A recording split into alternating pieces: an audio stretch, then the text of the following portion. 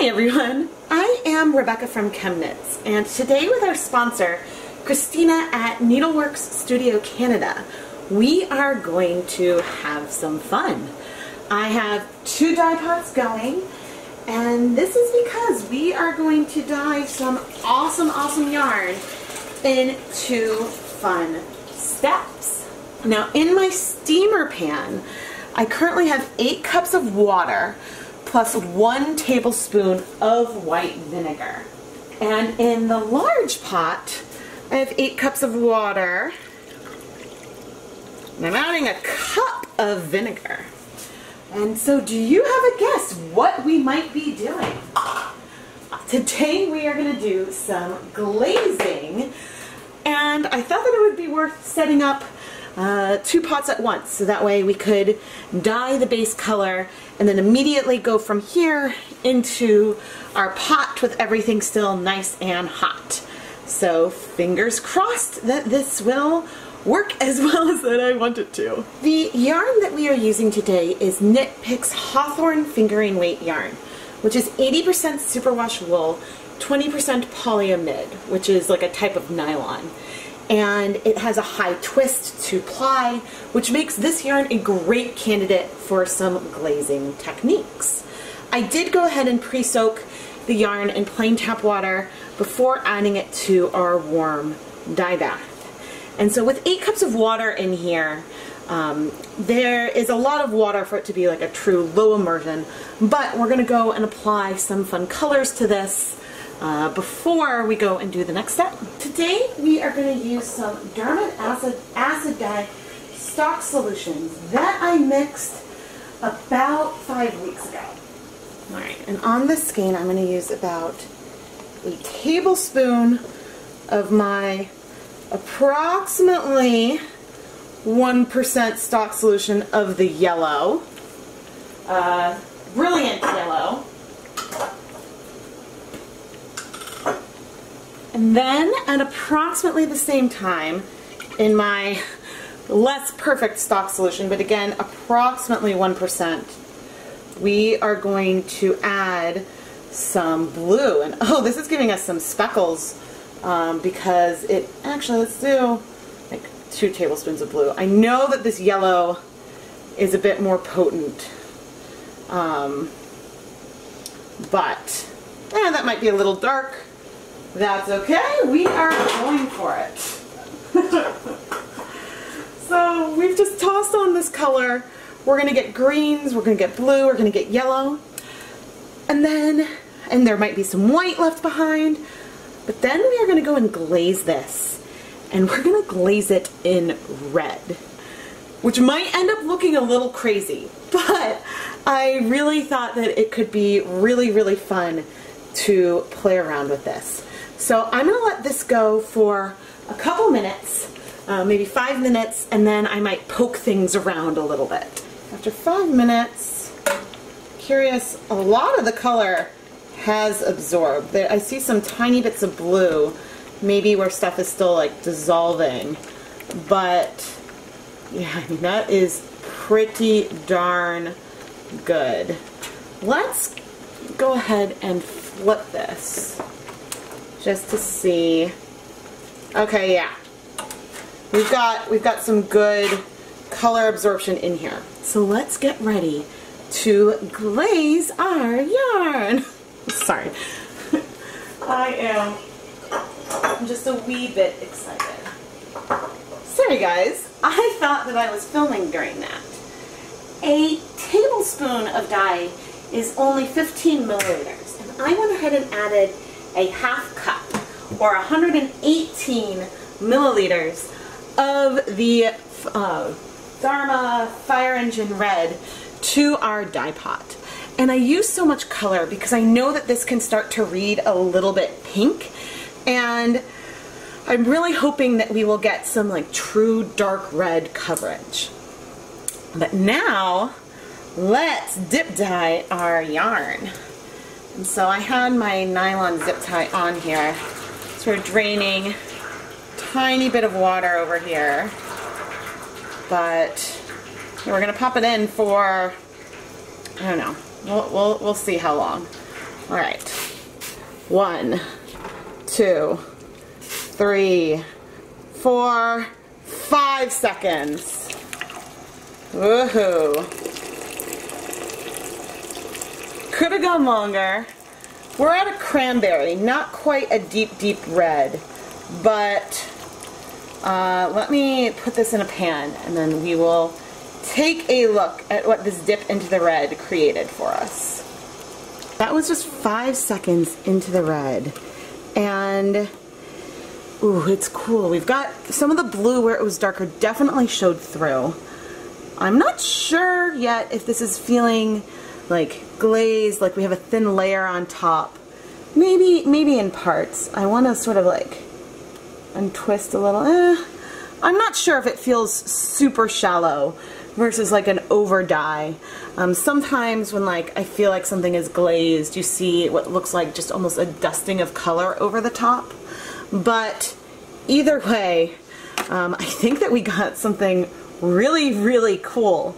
And I am really excited to take a closer look at it. I'm surprised with the yellow as bright as it is. I'm not, I see some like hints of some yellow, but overall it does not feel orangey. I guess on camera it might look a little bit orange, but in person it is feeling like red with these hints of other colors. Um, so, woohoo! I think that's awesome. As we wait for that friend to cool, we have a lot of dye in our pot. So I'm gonna go grab some more yarn. I went looking, and you know who I have on hand? A stroll sock blank. This is currently dry, but why not use this for our leftover dye? And slowly just add more and more of it to our dye bath. Do, do, do.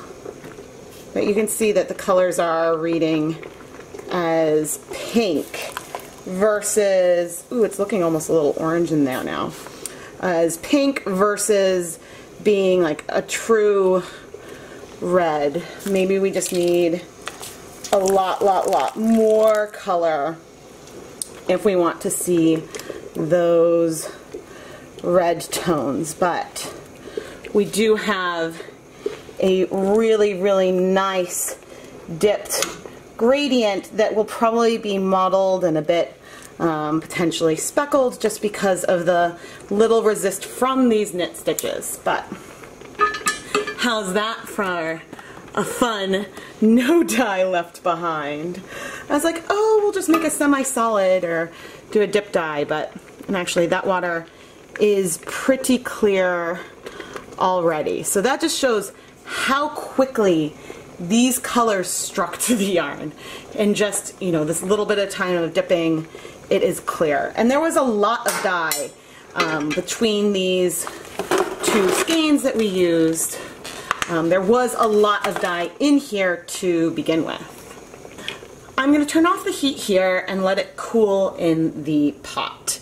Um, just a little bit to absorb anything left, but I am really, really excited to see how these colors penetrated on the blank.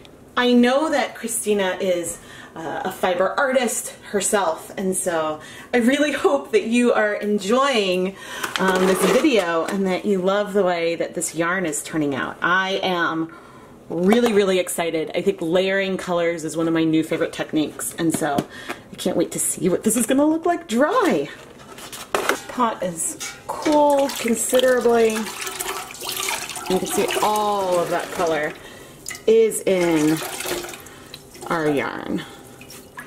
And this is just a lovely, lovely gradient from, I think we've got close to a red here, all the way to a pastel pink. Yeah, we can see that our glazed yarn, which was just in the pot for about five seconds, um, has a lot greater color intensity than the stroll. The fiber contents between these two yarns are technically different, um, but uh, the, the blank is 75% superwash merino, 25% nylon, but um, they're pretty close overall. So now just starting with some tap water. And maybe there's a hint of bleeding um, from our glazed friend, but most of this color is in the yarn. I'm now going to add a little bit of clear dish soap. And sometimes this helps um, us see, yeah, if we're going to see some bleeding, this can help us see some bleeding. If I had to make a prediction for where this bleeding is coming from, it would be coming from the Hawthorne. Um, just because the dye bath on the blank was completely clear. But I imagine that after just a couple rinses, it will in fact clear. But I'd rather have any any extra dye come out now in the wash step than say if you knit something and are blocking it. But if you ever are using hand-dyed yarn that has a deep saturated color, um, be careful if, say, you're pairing it with white or something because you, know, you could get some bleeding. But even now, like our water is basically clear. Um, so I'm going to go ahead and rinse this a few more times and then hang it up to dry. And then we'll come back and look at uh, the dry blank, we'll unravel the blank, and we'll like take a closer look at Christina's yarn. Here is our yarn and sock blank. As you can see, there was a lot of pigment in the Dharma Fire Red, but I would still call this a pink. I think we've got a gradient from like a pastel pink all the way to more of a raspberry. But I don't think that I had enough dye there to truly get that deep deep red that I see on the little swatch. So maybe if I was going to do stock solutions with this one again, it'd be worth mixing up a 2% stock solution or just using a lot more of this color to try to bump that intensity from pink into red. Looking at both of these, you can definitely tell that they are color related. Um, and honestly, I am surprised by how how much of the original blue and yellow is covered up by this pink. You see a little hint of orange and some of the blue shows through almost like speckles and splotches, but it's not feeling purple and I'm not feeling brown. Um, and I don't know, I think it looks really, really cool. Usually when people say glazing as opposed to just over dyeing, they're referring to a really shallow um, penetration of color. And this is something that you can kind of see a bit as you untwist the plies. You can see like in there that there's a paler section because the dye, the yarn is in the pot for such a short period of time that the dye can strike it really, really fast, leaving um, this really shallow application. So in the red, I sort of expected it to feel more pink, but here's a spot where especially you can feel that it's really, really shallow. In my first attempt at glazing, I dyed a skein with pink and yellow and then dipped it into black. And had the same like, oh no, oh no, is it too long sort of panic moment. And I've tried this a few other times, but on that original video, actually yesterday, I got a really, really helpful comment. And it was to, instead of dunking the whole yarn in, dip a portion in it of the yarn into the pot for a second and then remove it. And then dip another portion and remove it. And doing this will allow you to get a little more even coverage of the glaze, have a little more control, but also have all of it in the pot for a shorter period of time really letting you get that really light coverage. And then of course you could steam the yarn after to, um, to finish setting the color. Uh, so I think that there's a lot of ways to play around with this technique and I am beyond excited to see where we go with this in the future. As for our blank, when we dip dyed this blank into our dye pot, there was a lot of acid in there. I forget now that I'm filming exactly how much, but there was a ton of acid in the pot. And so while we have something that looks like a relatively smooth gradient, we are definitely going to have like this speckly gradient um, as from even the palest section. So I'm, I'm assuming that we'll see some kind of mottling down in the darkest section at the other end too.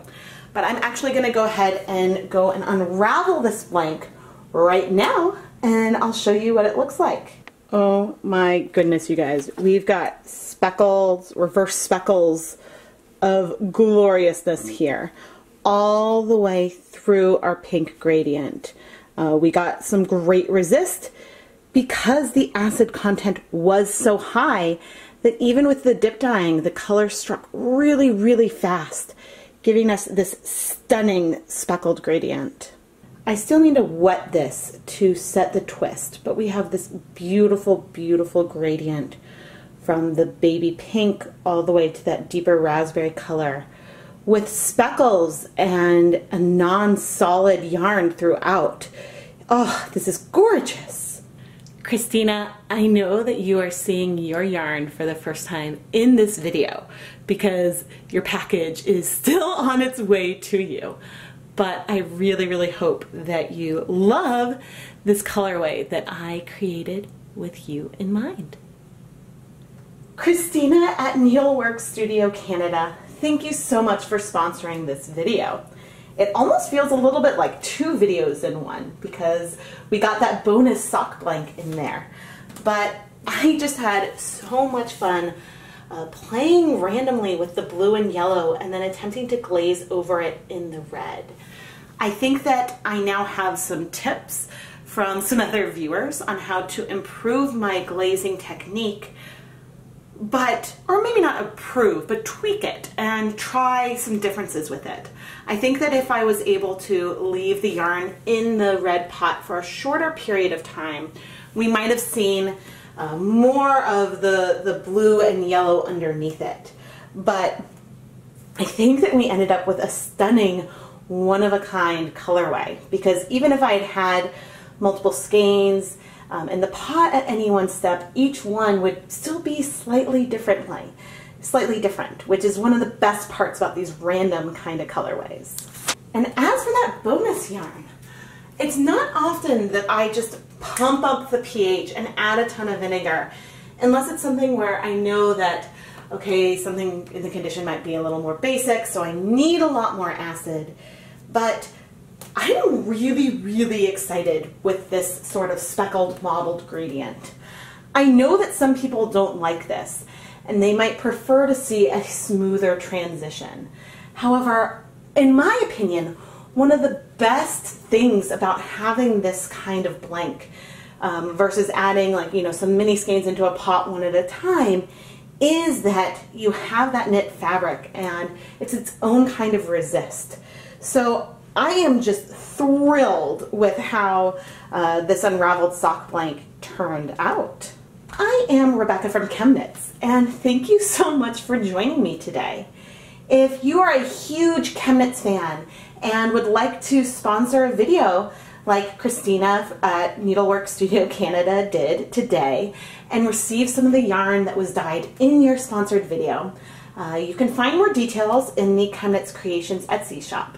I have a link to the sponsorship listing in the video description and the iCard. Even if sponsorship might not be for you, my shop is filled with dozens of skeins of hand-dyed yarn dyed in past and upcoming ChemKnits Tutorials YouTube videos. So you should really go check it out. Finally, if you aren't subscribed, what are you waiting for? Subscribe to this YouTube channel, give the video a like, and let me know what you'd like to see coming up in the comments. Thank you so much everyone for watching.